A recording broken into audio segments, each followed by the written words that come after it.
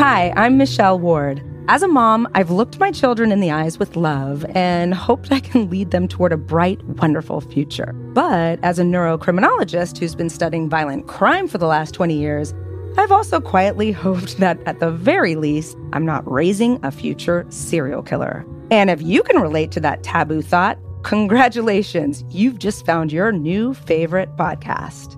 This is How Not to Raise a Serial Killer.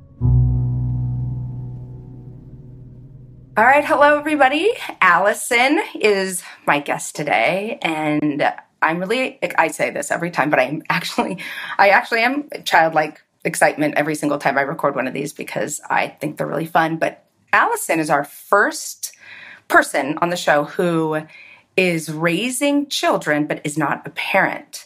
So Alison is a very involved aunt.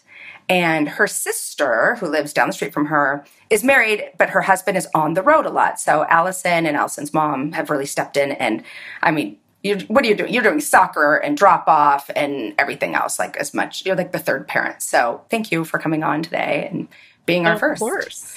I like to consider myself super auntie, so I'm I'm happy to be involved in this sort of thing. You are super auntie. I'm just going to dive in because this story needs no intro or explanation. Um, people may have heard this story before, but we're going to take a very different angle um, when we describe it because I think this particular story should be our landmark for how we change the way we think about how people become criminals. Yes, we talk a lot about how to get them off that trajectory, but let's talk today specifically about one of the very important ways they get on it. First, we're going to talk about this poor gentleman who was killed. Chester Dean Dyer was his name, and he was fun, affable, 42 years old. He worked at a local health club. This is in Phoenix, Arizona. And he was flashy and kind of knew everybody. Everyone loved him.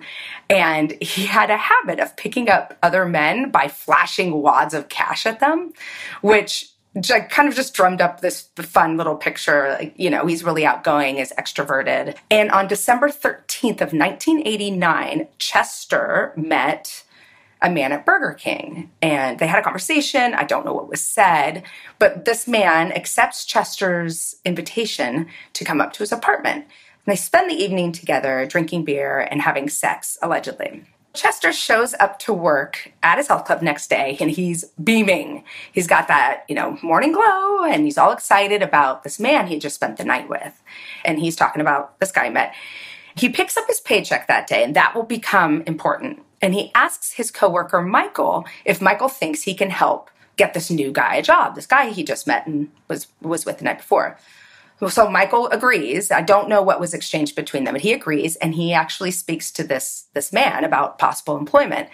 But Michael's impression was this guy has no interest in having gainful employment. He he turned it down. He wasn't interested in it. 2 days later, friends of Chester become concerned because they haven't heard from him and I kind of described he's a social guy. He's, you know, everyone knows you're he's you can tell if he's missing.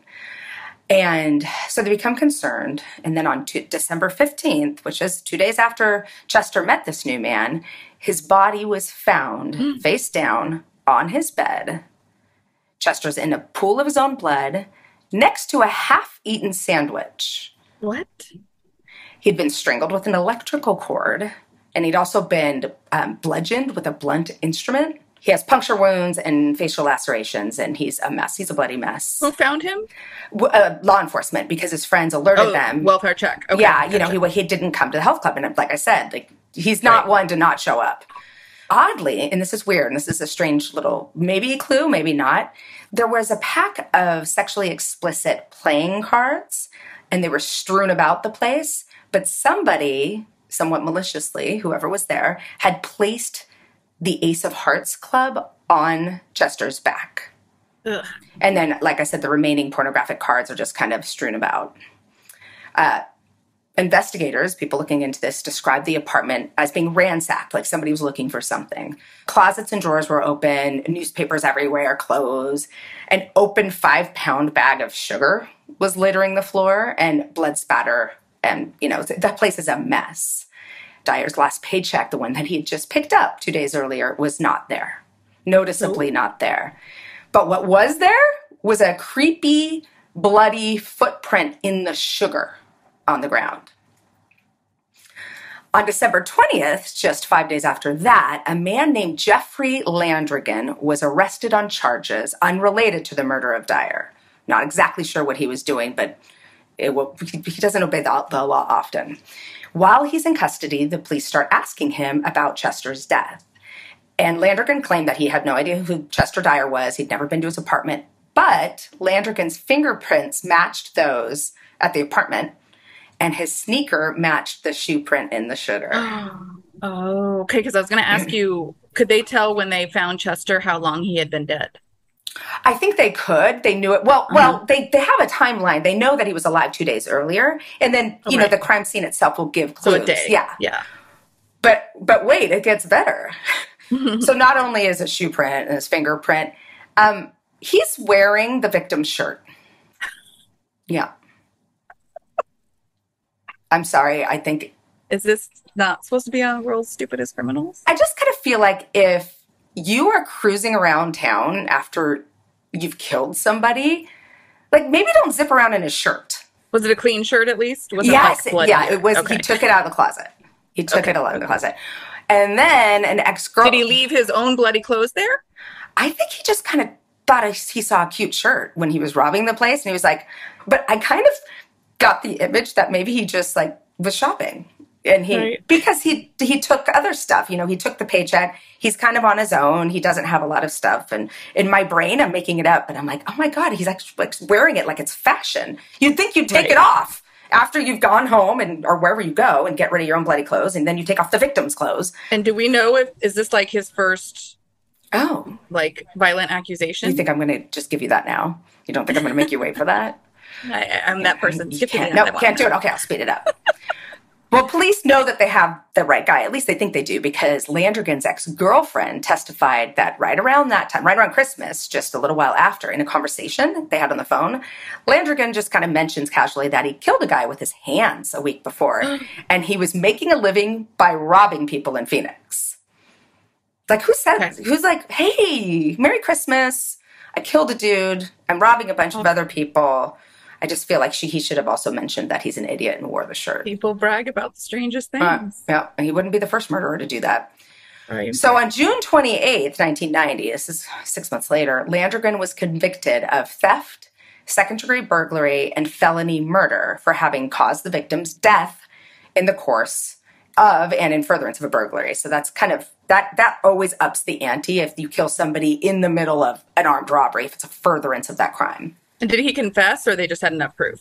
They just had enough evidence. And while right. Landrigan's lawyers argued that there wasn't enough evidence to find him guilty of the burglary, the state explained that the fact that the victim, this is a quote, was found on his bed fully clothed next to a half eaten sandwich suggests that he was killed before the apartment was ransacked. Any other conclusion would require an inference that the victim entered his apartment, found it trashed, then calmly made himself a sandwich and sat down on his bed to eat it.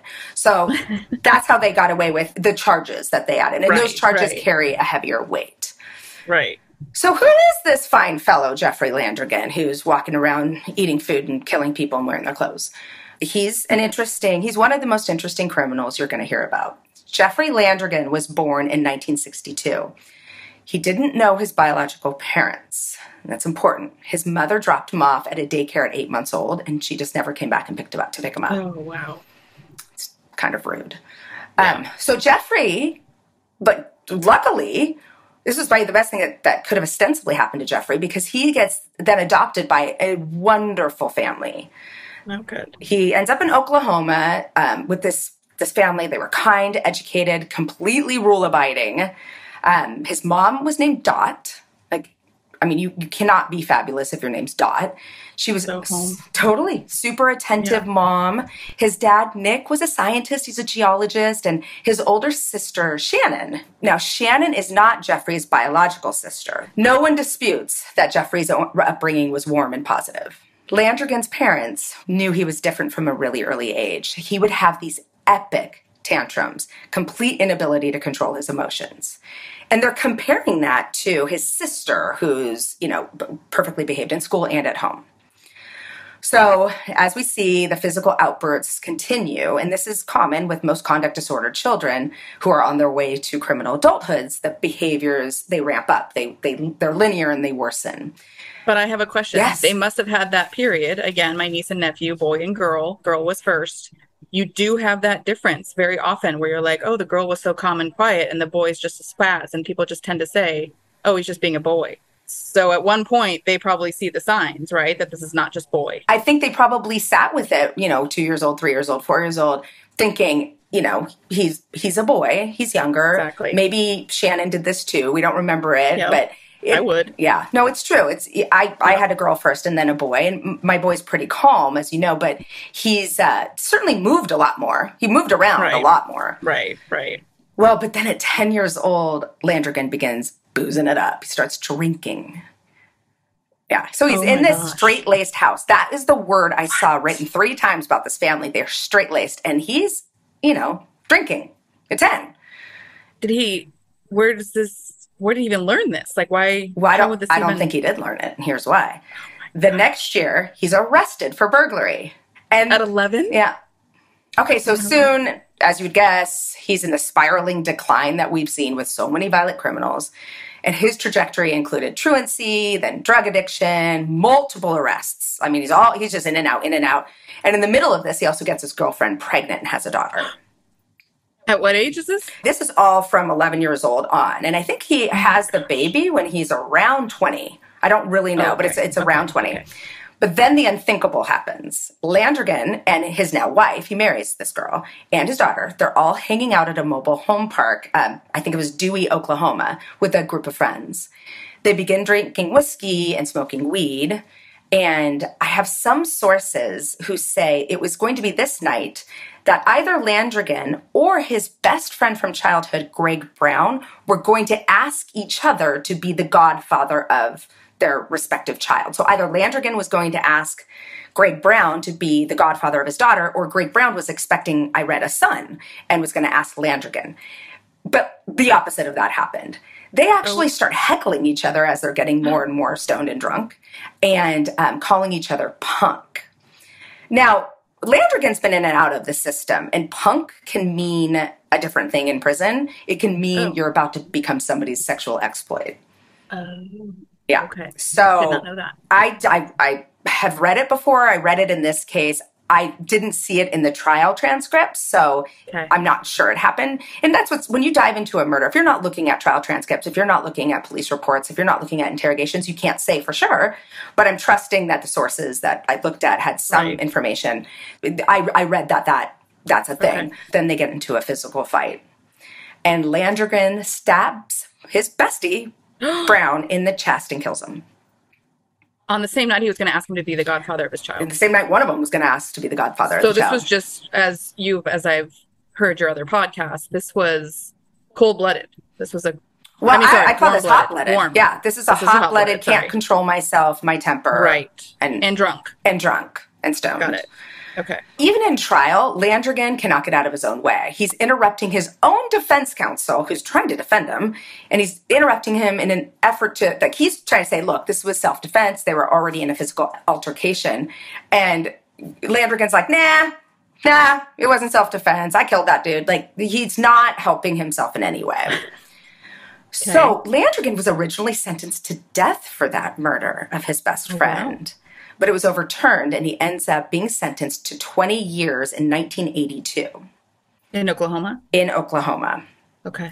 So now, fast forward four years, it's 1986, and while incarcerated, Landrigan attacked a fellow inmate and brutally stabbed him over and over and over again. Oh wow. Okay. Interestingly, when appearing in court, again, Landrigan undermines his counsel's attempt to mitigate the defense, like mitigate the, the action by calling it self defense. He, Right. he interrupts. He's like, no, no, no, no, no. Same thing. I stabbed that dude so many times. He's lucky he didn't die. And so, of course, he's convicted of assault and battery with a deadly weapon. He's just not thinking clearly. So now here we are. Landrigan has killed his best friend, nearly killed a fellow inmate. Guess what he does next? Uh, kill somebody else. No, he escapes. He escapes. How? This is going to piss people off. I do not know exactly how this came to be, given the brutality and uh, impulsivity of his crimes. But somehow Landrigan gets placed on a minimum security work crew. Wait, do we know anything about him at this time? You know, I've heard you call some of these people are charming. So is he just like nice to guards and is doing well in prison and that's how he ends up there? I'm going to go with hell no because he's he's the same guy who's having outbursts in court. Okay. So I'm going to say there's not much charming about this guy. Okay. I don't think he's working the system. I don't know how it works in, in that particular prison, or maybe, I mean, he certainly hasn't had a lot of good behavior in prison. Right, So I don't know how he ends up on this um, minimum security work crew. Flawed systems very much bother me. You know, and, and maybe it's been fixed and maybe it was an accident. I don't know where it came from, but evidently while working in the park, unsupervised, he made a he met a lady friend. And then it was reported that he would sneak away during these work sessions to go have sex with said lady friend. Wow. I feel like that's a lot of freedom for somebody who's brutally murdered two people. Right? Well, on one of those occasions, on November 11th, 1989, Landrigan just up and left and never came back. He escaped from prison, headed to Yuma, Arizona, possibly to locate his birth mother. Of course, this is the point where he ends up in Arizona and he kills Chester Dyer. Was Chester the first in when he got to Arizona then, as far as we know? As far as we know, that's his first Okay. kill. I, Okay. He claims he was robbing When he got to people, but that was the first kill that we know about. Got it. Okay. So let's go over his trial and sentencing. Landrigan, as smart as he is, refused a plea deal and decided to stand trial instead. I was not his jury consultant, we can say that. As expected, he was unruly in the courtroom and he got in the way of all of his own defenses. And he even prevented his adoptive mother, Dot, my favorite, and his ex wife from testifying on his behalf. So they were going to be testifying for the defense. And he's like, no, I don't want it. I honestly think he was like, look, I can't make it out in the real world. He said, uh, he said something along the lines of, so his defense attorneys actually saying to the court what those two witnesses would have said. And Landrigan said, hey, if I wanted that to be heard, I would have had my mom and ex-wife say it. Oh. So he's really not not wanting, not I mean Right. he's, he's not trying to get out of this. On June 28th, 1990, Landrigan was convicted of burglary, theft, and first degree murder. First. First, yeah, because Okay. of the way he killed Chester Dyer. Okay. The judge, she was contemplating life in prison versus the death penalty for him. But then Landrigan gets up and he says, You know what? If you want to give me the death penalty, bring it on. I am ready. Interesting. And he receives, yeah, and she does it. She goes, she says, okay. Well, I don't think, I don't know if that had anything to do with her decision Right, making. right, She's a right. sophisticated judge. I'm not, I doubt she's like, okay, dude. I think, you know, she was contemplating that decision, but it's interesting that he said, I'll take it. Okay. So he did end up receiving the death penalty. And interestingly, now that retired judge, when she hears what you're about to hear, said had she known it, she would have given probably given him life in prison instead. But to death row he goes. But here is where things get really weird. You ready? Hang on to your hats and glasses. Mm-hmm. While mm-hmm. Landrigan is sitting on death row in Arizona, a fellow inmate comes up to him and it's like, I I got to tell you something. I spent time with this con man criminal on death row in Arkansas, where I just was transferred from. And he looks exactly like you. He is your twin, he is your spitting image. And Landrigan's like, Adopted. his name was Daryl Hill. And this inmate's like, I, I cannot, he's gobsmacked by the similarities. And Landrigan's like, Daryl Hill? You know, you can guess what's going on here. Daryl Hill, who is sitting on a different death row in Arkansas, is the freaking biological father of Jeffrey Landrigan, oh, who is sitting on death row in Arizona. Oh my God.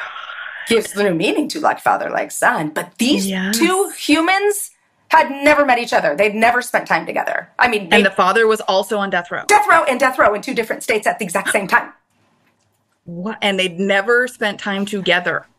At when when when Landrigan was very first born, within the first few days, his biological father Daryl Hill had met him, but then I never saw him again. I mean, what are the chances? Whatever similarities we're seeing between them, that's happening between them, it's not the fault of shared environment because they didn't share any environment.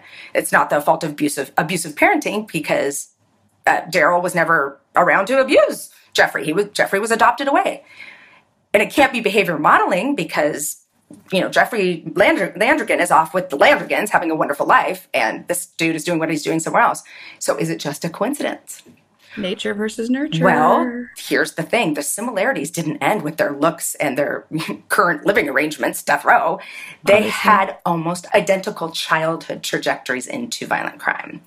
They both started on this criminal path at a very young age. And by the way, when you start really, really young, usually your trajectory is really bad. But we have talked about different ways to intervene when you see it, Right. and you can knock them off the trajectory in some cases. right. So they both started super young. They they both. Um, I mean, I don't have any information about Hill's upbringing. I, I have reason to believe it was not great, but Landrigan's was innocuous, if not perfectly warm. Right. Right. They both started using drugs really early on. They had both killed not one, but two humans. And they had both escaped from prison. oh, dad did too? Dad did too.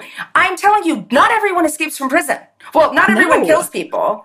And then not everyone kills another people. And then not everyone kills those two people and then escapes from prison. And I just said And was it an Oklahoma prison? Because I'm starting to see a theme he's here. in Arkansas. He's in Arkansas. Oh, okay. But that doesn't hmm. mean he didn't kill elsewhere. right. But wait, there's more. Landrigan's biological grandfather, which is this biological dad, Daryl Hill's father, was a violent criminal too. Michelle, is there a murder gene? We'll get to that. This fine fellow had spent years incarcerated and was ultimately killed in a police shootout after he had committed armed robbery in a high speed chase. Wow. Now remember, Jeffrey Landrigan, the murderer we're talking about today, had never met either of these men. Right. No, there's no murder gene. There's a heritability. Um, Okay. Likely a cluster of genes leading to traits. We're not talking about it yet, jumping ahead. But there is this one funky gene that I'm going to cover, I think, in the next episode that all by itself can lead to violence, but not not like this. This is not one gene going from one son to next son. That's this is this is genetic, but it's a different trans Okay. transmission. So it's somewhere else in their genetics. Well, it's okay. just a combination. So I believe Landrigan communicated with his biological father, Daryl Hill, before his execution. Um, it, I did not see that in court transcripts or in, in like any videos or anything, but I, I'd read it in other publications, so I believe it's true. But I, you know, I'm always a little bit more nervous when I haven't seen it from an official source. Um, neither here nor there. Interestingly, Daryl Hill, his biological father, does not end up getting executed, but dies of natural causes in 2005. Oh, okay. So they knew about each other and they knew that they were related. Yes, yes, they Got definitely knew about each other, and I believe Okay. they actually corresponded. Okay. Wow. Um, Now, Landrigan's own execution had some problems. There was holdups hmm. because of some legal filings that were going on in Arizona at the time, Right. and then there was a shortage of sodium thiopental, which is the drug that's used in the injection. But Landrigan, Jeffrey Landrigan, was finally executed by lethal injection in Arizona on October 26, 2010. oh wow. Okay. You might be wondering what happened to Jeffrey Landrigan's daughter. Oh, I right. was, and I hadn't seen much about it. And so I did some digging with names and connecting the grandparents. And I just read that her name was Nicole, and she was killed by a train when she was 32 years old. Oh my goodness. Had she been leading a stand-up life up to that point? Well, it was hard for me to say. I didn't I didn't get that much information. I noticed that one of her children had Jeffrey's name in his name. Like Oh. yeah, um, Jeffrey and the bio mom and the adoptive parents were all listed as relatives. Um, and the story that I read was that she was walking down the train tracks. Um, and that a train was coming, slow train, you know, like the slow motion, like it's Right, slowing down, right. but it's still so heavy that you have to get out of its way, even if it's moving very slowly. It alerted her. She saw it. She moved out, out, out of the side, like to the side, but not enough. Far enough, Was yeah. was killed. Everything else I read was just like she's the happy, sweet person. But I, I wonder if there was some trouble because of how she died. Right. That Um, doesn't sound like it. Yeah, I, I, I, but I that is She tried to complete avoid it. speculation. It literally could have been she thought she got out of the way and was just you know walking down the train tracks and thought she got out of the way. So I don't I don't want to say neither here nor there. Yeah. Um, And do you know, Michelle, did she stay with her biological mom? Like, was she still raised yes, by? so she was Okay. raised by and ended up with other siblings too. Okay. All right. Yeah. So she remarried that girlfriend. I don't know Okay. if she remarried, but I know she had other children. Got it. Okay, Alison, what does this all mean? It's a crazy, crazy story, right? Yes, it is. Um, you know, the murders themselves are interesting, but just what are the frickin' chances? So we all know that upbringing affects who we are. And it's likely a combination of genes, environment, and the interaction between genes and environment. But what this fascinating case study tells us is just the genetics influence on crime. But of course, a single study is not enough for us to make any overarching conclusions.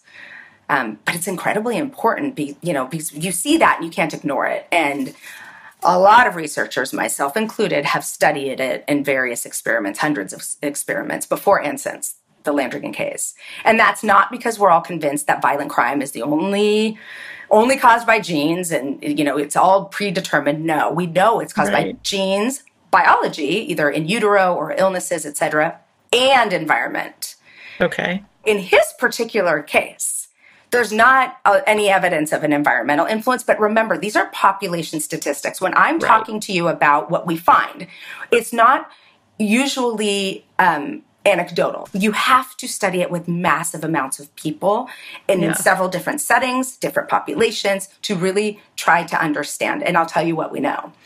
So, have you researchers found a larger pool of Landrigan esque humans? Funny you should say that. Um, there's a lot of resistance when we talk about genetic predispositions to crime. People hate it. And they hate it because it challenges everything we think we know about raising kids, about what to fear, about having control over our own destinies. But before we dive in, I propose this. In order to isolate the most important environmental factors that influence violence, shouldn't we first isolate the genetic factors? Because that Yes. way we know which parts of the environment to change. Yes, Plus, it's a good way to select a mate. Like, you kind of want to know. for sure.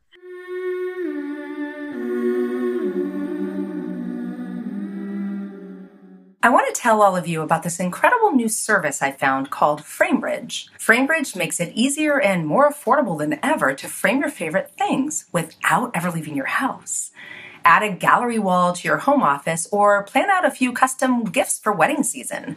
From art prints and posters to the priceless photos hiding on your phone, you can FrameBridge just about anything. Here's how it works. You go to framebridge.com and upload your photo, then preview your photo online in dozens of frame styles and gallery wall layouts. Then choose your favorite frame or get free recommendations from the FrameBridge designers. Then the experts at FrameBridge will custom frame your photo and deliver your finished piece directly to your door. If you happen to have a physical piece you'd like to frame, FrameBridge will send you special packaging to safely mail them your items for custom framing. Instead of the hundreds you'd pay at a typical frame store, FrameBridge frames start at $39 and shipping is always free. Plus, my listeners will get 15% off their first order at framebridge.com when they use my promo code HOWNOT. And if you happen to live in New York City, Washington, D.C., Atlanta, Philadelphia, Boston, or Chicago, you can stop by an actual FrameBridge store to work with one of their designers in person. I used FrameBridge to create very unique gallery walls of baby photos in each of my kids' rooms. They're very cool, and I could not be happier. Get started today. To frame your photos or send someone the perfect gift, go to framebridge.com and use promo code HOWNOT to save an additional 15% off of your first order. Go to framebridge.com, promo code how not. Again, framebridge.com, promo code how not.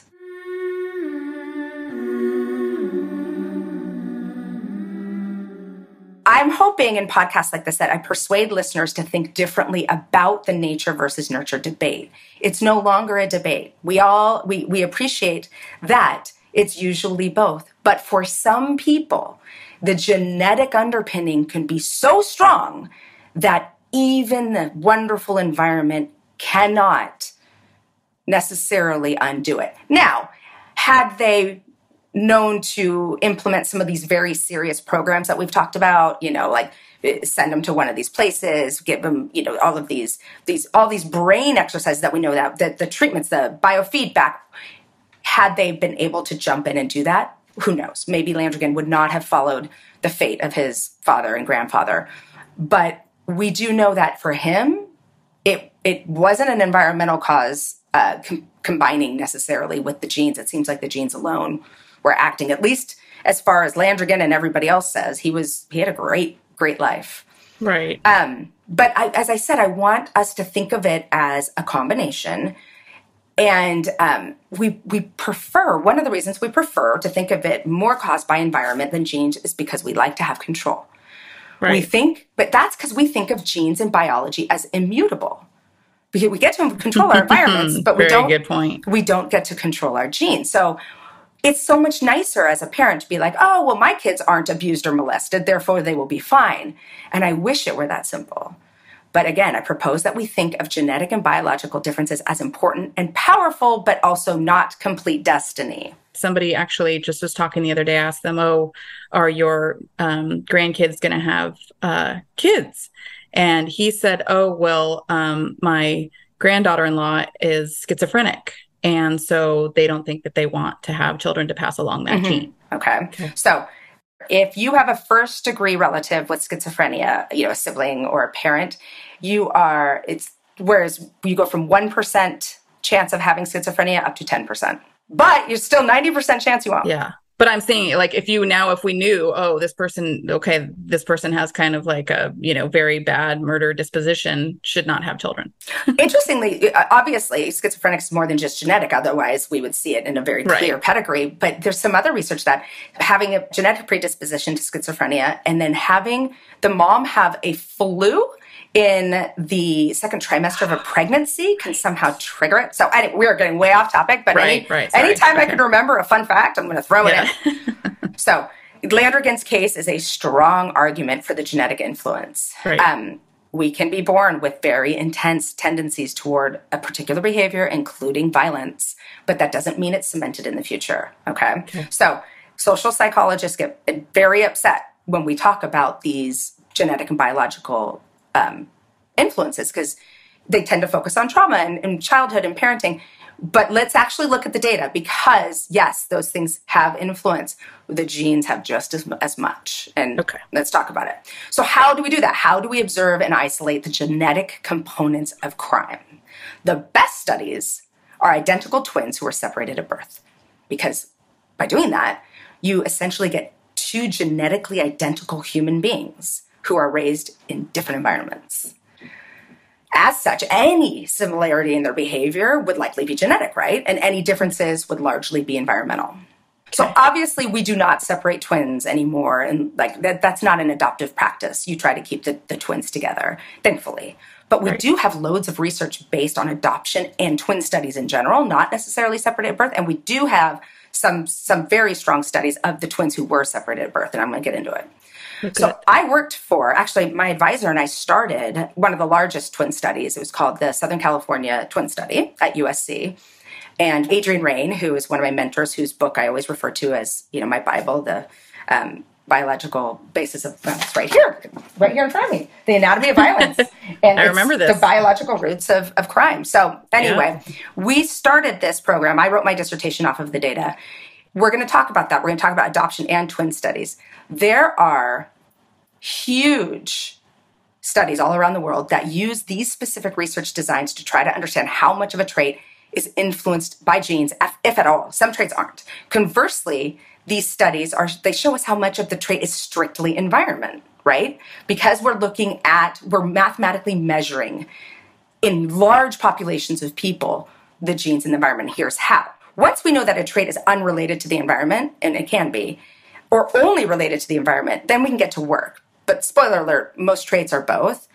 But we can focus on how much of any particular trait is genetic and how much is environmental and how much is your shared environment at home versus your individual environment, your peer groups, and other okay. things outside the home. So, right. in Landrigan's case, he is born into a very violent family, but he is removed and raised by a loving, nurturing Almost immediately. Mm-hmm. Yeah. I mean, he did have eight months with his right. mom, but right. there was no evidence that anything had gone wrong there. And no dad. Yeah. And the, the mom isn't criminal. Right. He's removed from that violent environment. He, I mean, his dad, he never sees again. And um, his mom's not criminal, but she only had him eight months. His bio, I mean, his adoptive family is great. Despite this, he still becomes a killer Adoption studies have looked at this with huge numbers of adoptees because we cannot hang our hat on Landrigan alone. And we're going to dive into that in a bit. But first, we're going to go back to the twin studies. Yeah. Twin studies are this great design to understand how much of any trait like violence is genetic. And here's how we do it identical twins, as I said, share 100% of their genes.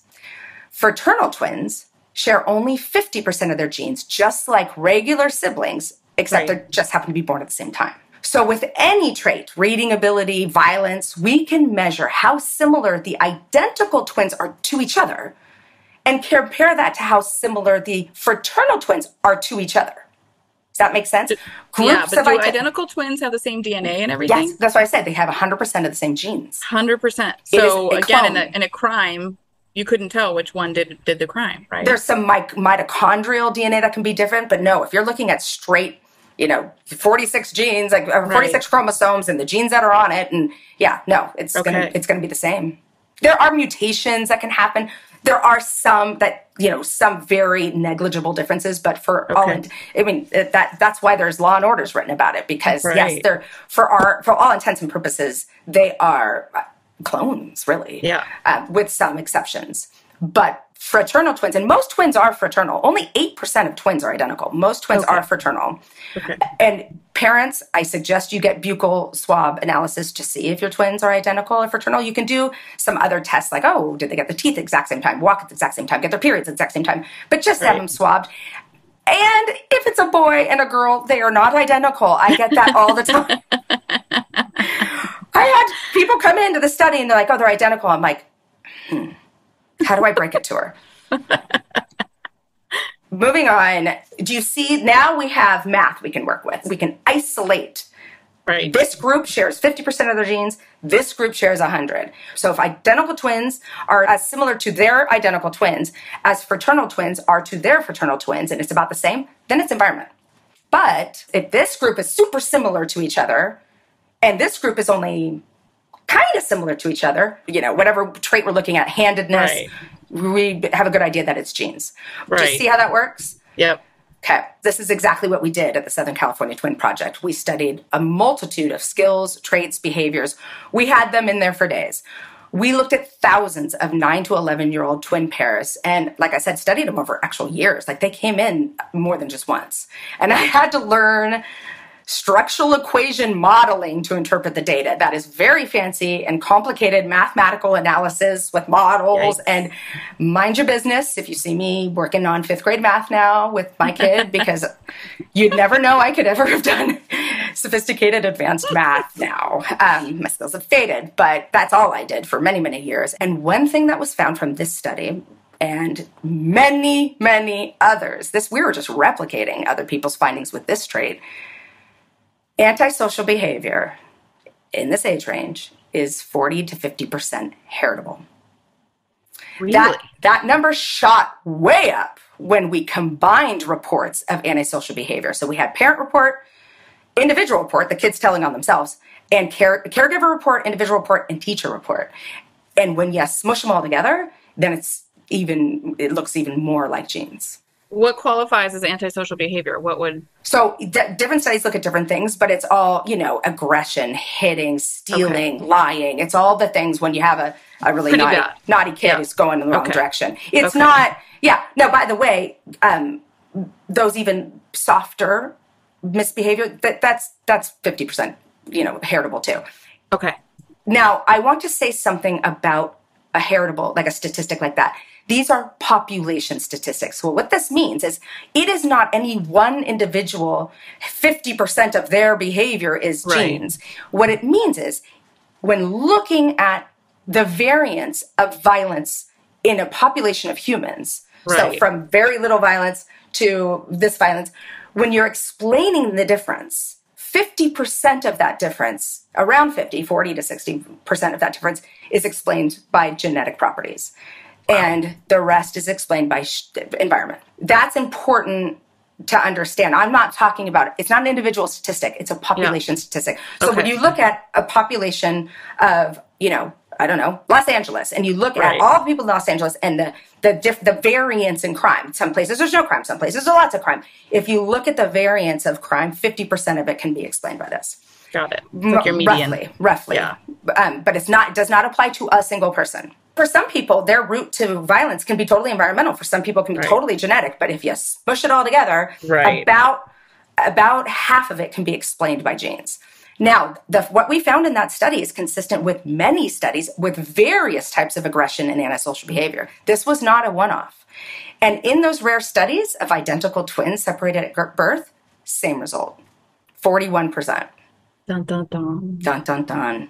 Um, Wow. so what do we do about this? You're, for all y'all who are getting fussy about there being a genetic influence, I suggest we look at the bright side, which is that means 50% of the variance is not explained by genes.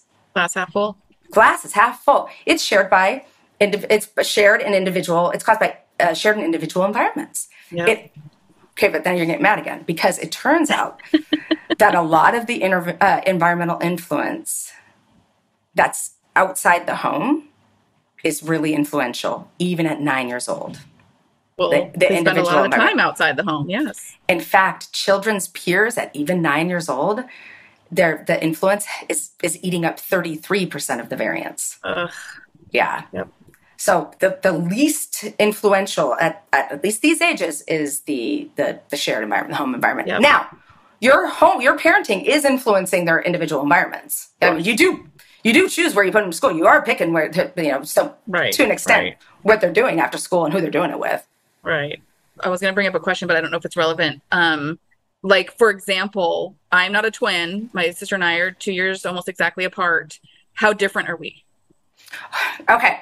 Right. So, So, that's my question. We're raised in the same environment, but I'm like the total nerd. She was the total party person. To me, that's a trip in itself. How different even siblings can be, but we're not twins. so you guys are a great case study. I've known you for decades and decades. Yeah. And not that old. you you were decades decades you guys are you are very very different you can you can talk all you want michelle about 50% of differences being inherited but in any one individual it's not necessarily the case and i think it's good to remind people of that like look these are broad studies and they are very important for us to understand they're important for us to understand so that we can do something about it right yeah. I'm Right. like hoping this really does have an effect for future generations.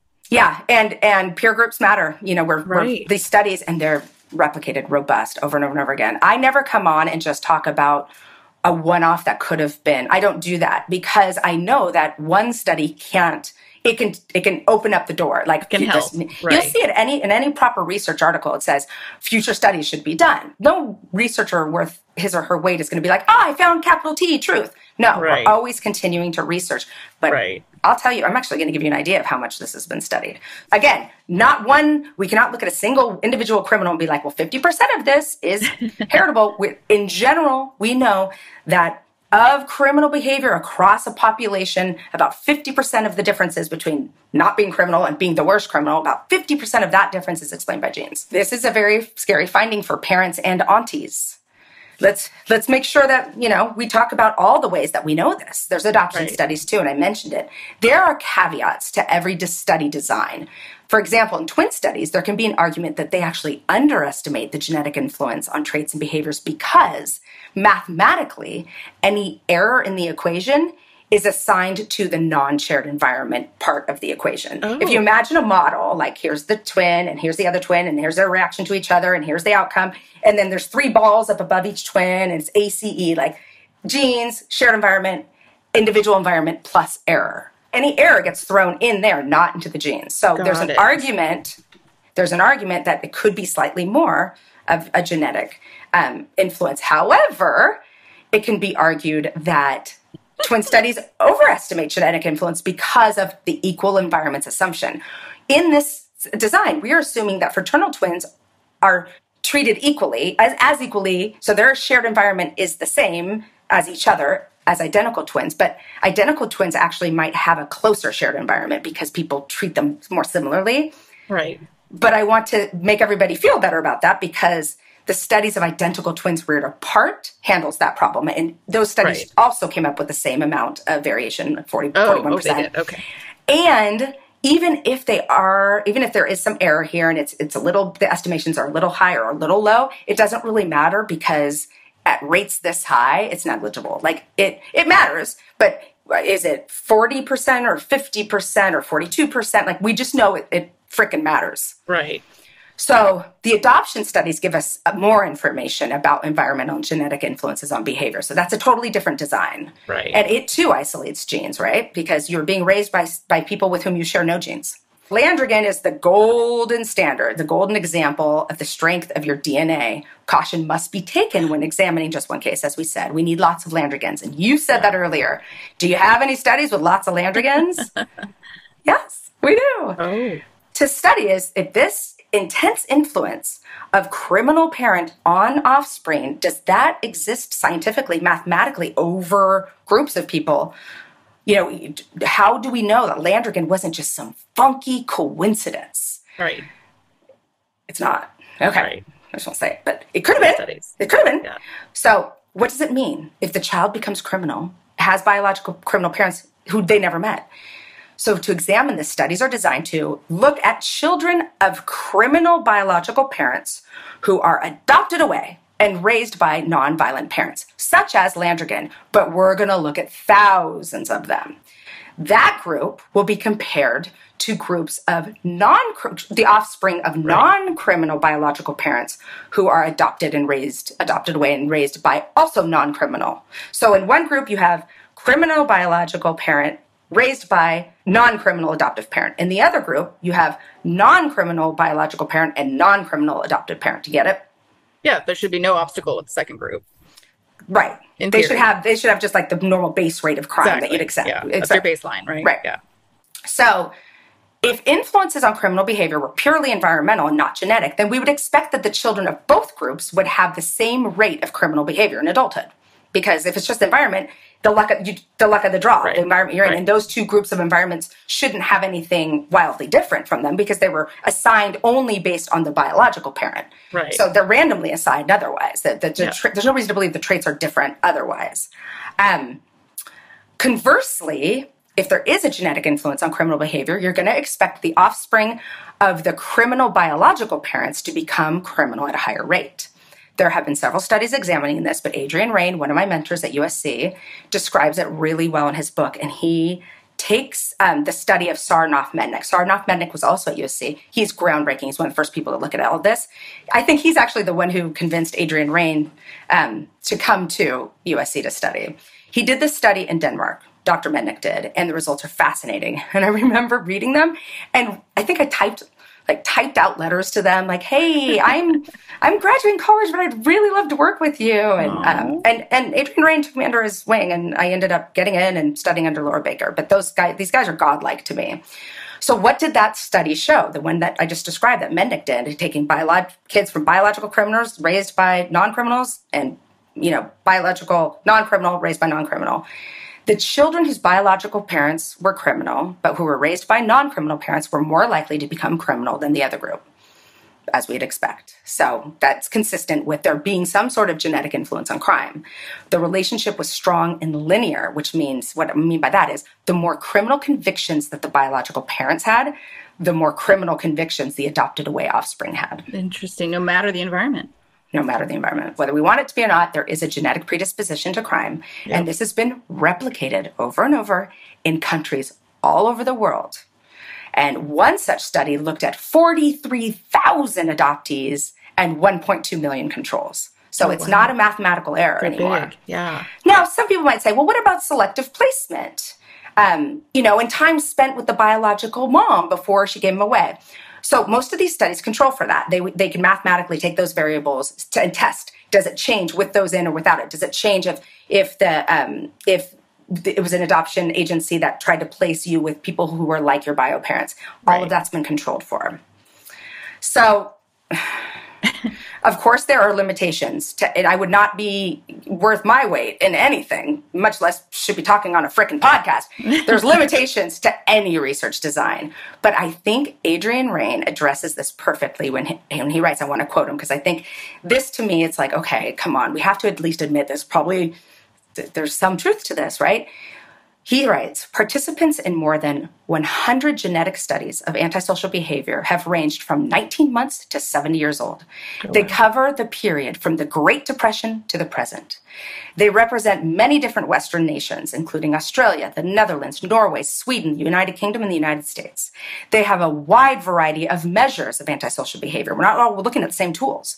They are made up of twin studies, adoption studies, and just sibling designs. They are also they also include large scale studies that represent the general population and they use advanced quantitative modeling techniques. The studies of yesteryear stand up in the studies today. Again, as much as we have years and years and years of studies. As much as social psychologists and parents and you and me and we all hate this, I promise you there's greatness in knowing it because it's not immutable. Right. can dive in early. If you know that and then you adopt a kid and it's acting different, it's acting like problematic, you're like, what's that podcast? What can I do here? Okay, they're doing this and this and this. I'm going to research that. What does it mean if your child is, you know, starting fires? They are, you know, starting, they're, they're aggressive with their sibling, they're aggressive at school. Dive in. You get to dive in because now you know you're, it's going to go beyond possibly there's a genetic influence working here and it's going to go beyond just you know making sure that their bedtime stays the same right. and that you hug them enough hugging and you them, can have yeah but you can have an influence once you're that's why and it's funny you keep saying that people are going to get mad about things how can you ever get mad about having more information knowledge is always power well, so yes, at, it might not be the answer that you want, but it actually at least you get armed with more and more information and the power to maybe do something or try to do something. Well, I think it's because we put so much freaking effort into raising these kids mm. that it's really hard to hear that. well, right. you know what? It gives us too much credit when they do something well. Like this, this incorrect assumption that perfect home lives make perfect kids. Right. That gives us too much credit when something goes right because we're just kind of quietly giving them genes that we don't right. even know about. But it also gives us too much blame when things go wrong. So when we recognize there's shit beyond our control, there are genes working here, we can intervene beyond just making sure we're hugging them enough and telling them I love you enough, we can actually go, all right, we're going to look at for this type of personality, a consequence based home life will not work. It has to be reward based, consistent. Right. You know, we're going to have to. Previous. Right. Yes. Okay. It could be that this person, this kid, really needs some help with executive function and and all of the impulse control.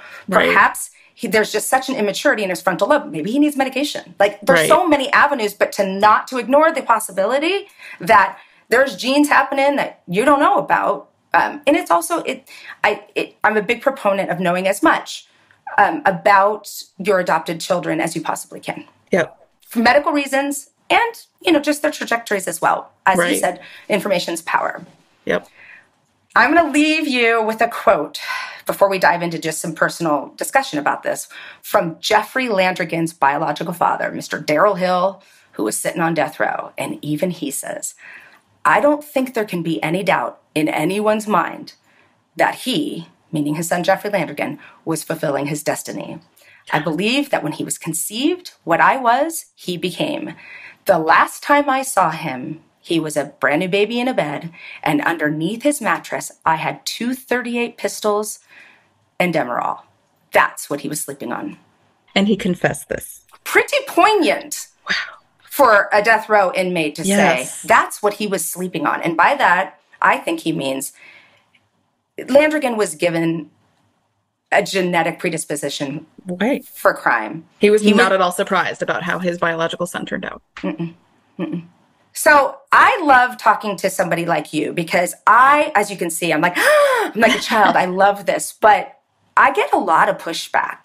Um, sometimes like i remember seeing this stuff in my shows and and some people would say and i understand this they would say this is giving an excuse to criminals. And i, I don't want it to be thought of that way. Um, i feel like it's giving us power to to understand and there are so many children who need the protective factor of a loving foster home or a loving adoptive home. They need it because that might be the only difference. But now in that loving adoptive home you can also look up and implement interventions exactly for things that might happen outside of your control that might this, be working tacitly in their dna this is i get how it could be you know again like you said i am not a parent so but i look at these children as though they were my own yep and to me again i'm I'm in the second bucket that you talk about. I just feel like knowledge is power. And you, I feel like you do have to get over, you know, your own head, you know, I can do something, I can do something. The second you see something, there is no harm. And this is, we're always trying to get into our society now. There shouldn't be a stigma for you know mm-hmm. certain mental illnesses or certain issues you have to overcome. But in learning from your podcast like the biofeedback the omega-3 like that's information i did not have before that would be amazing. Like if if my nephew all of a sudden he were like lighting cats tails on fire you bet your booty he'd be going to a doctor and going to boys town or whatever it was. Mm-hmm. because even if he was born with certain horrible traits we can help. And he's so lucky because he has your eyes on him too. He's got his mom his dad. Oh yeah I understand that I do come at it much more logically, as my sister schooled me just the other day. She's like, "Oh, can you just come live with us or take one of my children?" Because you look. and I said, I don't look at it from an emotional aspect. I look at it five years down the road, mm-hmm. you know, or like how do these kids interact with us versus how they interact also with their peers? Because and- I get, you know, I see, I see my niece, and she talks to her mom horrifyingly, and then she goes and talks to somebody else's mom, pleasant as pie you know yeah. and it's just i'm like what what is that dynamic so there's that part too you know i'm not the parent so then she never treats me like that so it's yeah. how your kids like you know this your daughter loves to beat up on you and then like, she's nice as pie to us. Yeah. If somebody saw my what happens, they'd be like, "And you're gonna have a parenting podcast, Michelle?" Like, uh, but to me, she's just she has a very strong personality, and I secretly mm-hmm. love it, you know. But it's that's that give and take of like, okay, what's okay and what's not okay, and why they beat up on their mom is the worst. I don't understand it at all. It's so well, sad. and and you bring up an interesting point. Two points that I'd like to touch on. One is. um when you have children like your sister's daughter and like my daughter who mm-hmm are tougher with us, but forward facing, forward facing, the outside yep. world, their teachers, their other parents, Love. they're good. Yep. It's it's it's good. It's good because they can control themselves. Unfortunately, their real self is probably the one they're showing their mom because right. they're like, ah, but this person has to love me no matter what. Right. I'm going to show you my ugly underbelly. Um, you know, there are scientists, there are female scientists who have been involved in the nascency of almost every great discovery we've ever made. They rarely get the credit, but right. I promise you they weren't fun to raise. Right. Um, and, and so I do look at the challenges of a smart, strong willed daughter, and I say to myself, we need people like her, just like we need the people pleasing other types too, right. who are easy to raise um, and wonderful people. We need Me. them all. You. Oh, Alison Perfect is what she was called growing up. Alison Perfect, because, you know, Alison and her sister are, are quite different. Um, I mean, you you couldn't look more different on paper but personality wise like i love you both. Like i would pick both of you over and over and over again. But within you guys i can see how you guys might not have, have connected. Well i think about my parents. I think about the parents and what they used to say to us and other you know parents listening out there might see this too is uh, again i was the first and i was quiet in the beginning. You know it was just easy. I didn't do anything. I was and you know i was a nerd and I kept going and everything. And then when they had my sister and she started exhibiting all these bombastic traits, they were like, they looked at me and they're like, well, you didn't prepare us at all. And so they did. They felt, you know, like thrown back. They were on their heels the entire time. Like I love when people have more than one kids and or they take credit the first kid. I did this. Like my daughter's right. such an easy traveler and oh, it's because I'm flexible. And then the second kid's born. He's a, he was an easy kid, but he yes. could not get be out of his crib. Like he had to have his routine. So you realize that you have to parent to yep. the child, the child each you child. have. Yep. Your and strict mono parenting isn't going to work on each kid. Right. That's just so funny because you said like, and and especially people listening too. It's if they have if they're younger, you know, and you just don't know what to expect. Like, you know, and I just laugh about it. I'm like, oh my God, the, the trials and tribulations that people have to go through when I secretly love being the auntie from the outside and seeing, and I can come in and help and saying, oh, oh, let's, let's try to talk to, you know, mommy and see if we can fix this. So and and you being Alison Perfect and being the the first one, like had they had your sister first, they might not have had a second one. Right. Same with me. I was no walk in the park, you know, right. like I'm sure my parents were like, what the what? My sister what? was much easier. And it's, it, I, I, think that if you look, and by the way, having an easy child or a difficult child does not mean they're going to end up successful or not successful. I'm just saying it takes all types yep. to make the world go round. And, um, and, and you might have to alter parenting for each kid especially if you're seeing these, these wild differences. I mean, if you're lucky enough to get a bunch of kids who are similar to each other, good for you. Right. Um, I want listeners to also know that you have to do the research yourself. Like, what does it mean if your kid's doing this? What are interventions? Interventions for this. Look for interventions. Listen okay. to listen to people who are studying and and trying to get it out there. And one of the complaints I had about academia is we have had all this research, for so long. And there is a tendency to be nervous to bring it out into the public because people don't know is it going to stigmatize? Are people going to not know what to do with it? Are people going to take it as gospel when we haven't studied it enough yet? Right. But I'm at the point where I'm like, it's been out there long enough and people need to know it. Yes. Um, but I'm so glad you you talked about that. Like you're not offended by knowing it's genes. No, because I think knowledge is power. That's pure. You know, that's exactly where it comes. I mean, it, the the hard part is not knowing. You know, I, I don't like that we live in ignorance. So but what does it mean, do you think, for parents when it's like you spend the worst we feel any given day is when we have lost our cool with our kids. The best right. we feel is when our kid has done something great. Yep. What do you think this, how this is going to land on parents when they hear, like, by the way, half of what's happening in any particular trait, you can do nothing. You you're not making that happen. You can do something about it. You can jump in and intervene if it's good or bad, but it's not parenting. When I hear when I hear that, I would think that there's a little bit of a relief. You know, if you have a bad mm-hmm. one and you're saying, "Oh, thank gosh," you know, like I'm not all the way responsible for this. Mm-hmm. You know, I would think that would be my go-to. Like, oh my gosh, I didn't know, and now I can take or do my research and take them to the appropriate doctor. I love the biofeedback because back in like you know 80s and 90s, my uh, dad went to biofeedback, and what? it oh it worked wonders. It was shocking, shocking he would get very anxious about things, very stressed, mm-hmm. and the news made him so mad back in the day. And he started going to biofeedback and calming down. And they he'd put the earbud earphones on and listen to these tapes, and all of a sudden he'd be sound asleep. It worked ah. wonders. And the one thing actually they um, told him was to stop watching the news.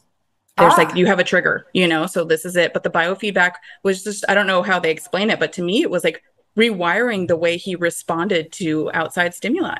You know, like if we were stressing him out, he had a way to just reset. He has a way to temporarily cope with the anxiety, but he's also changing the actual structure and function of his brain so that he is permanently getting better if he's doing crazy? true biofeedback. Yeah. When you mentioned yeah. it in a few podcasts, I, I was like, oh, no way. Like that, and you talk about tools that's been out there for a while, but mm-hmm. I that was the only situation I'd ever heard that term. So if you as a as a parent or an aunt or a grandparent go and decide to do that with your child, you know what happens often? What? Teachers notice. Teachers will be like, something different at home. That's nice. what you get with biofeedback. Ooh. You get if you keep it private within your family for whatever reason. I have heard so many people say, you know how I know it worked?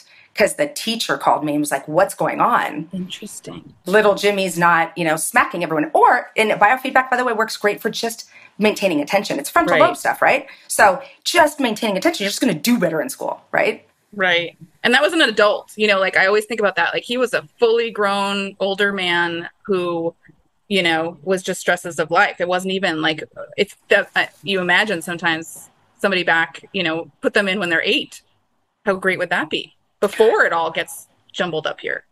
Alison, I actually want to stop and say thank you so much for pointing out that how effective it was for a grown man to do it because, you know, I tend to focus on just the kids. And as yep. you say, gosh, could you imagine if he was eight? But if you come across this at 40, 50, 60, do yep. it anyway. But I think about the Landrigan thing. You know, it's like, unfortunately, those poor parents, those adoptive parents, didn't have any information. They didn't mm know, again, about probably their son who they adopted. Might have been you know minimal and no one keeps track of the father the genetic family. So i just that that would be hard you know. and by the way this was like 70s and 80s like right, people didn't know right. you know, and even still know. right now you're still struggling to get this information out to people when in theory like i said biofeedback's been around for 20 30 years. And then parents getting therapy realizing mm. that whoa i'm stuck. I'm not doing this.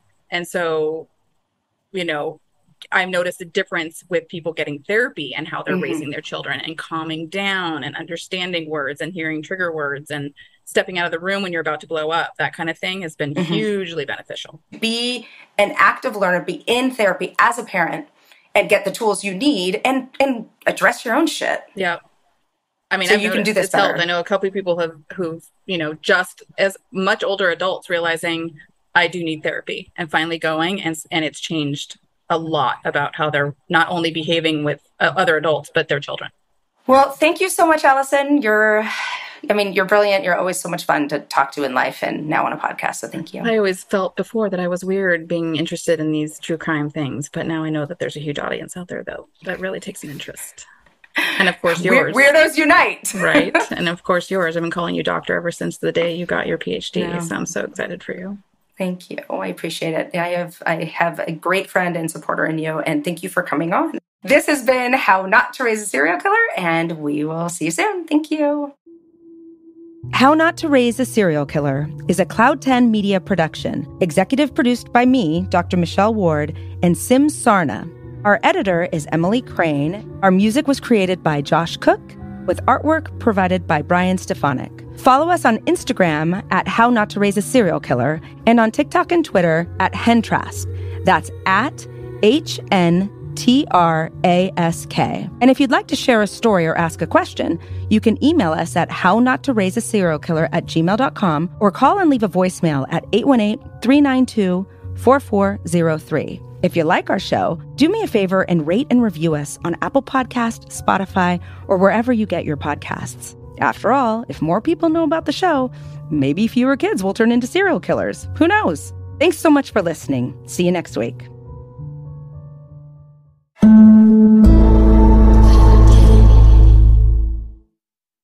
History has got some pretty big mysteries. What happened to the Russian hikers who disappeared under mysterious circumstances at Dyatlov Pass? The colonists who seemingly just vanished from Roanoke Islands? And what really happened to the Flannan Island lighthouse keepers? I'm Simon Whistler, and on my podcast, Decoding the Unknown, we try and decode the mysteries, what they really are, throwing out aliens and ghosts as an answer, and trying to find out the real history behind the mystery. Listen to Decoding the Unknown on the iHeartRadio app, Apple Podcasts, or wherever you get your podcasts.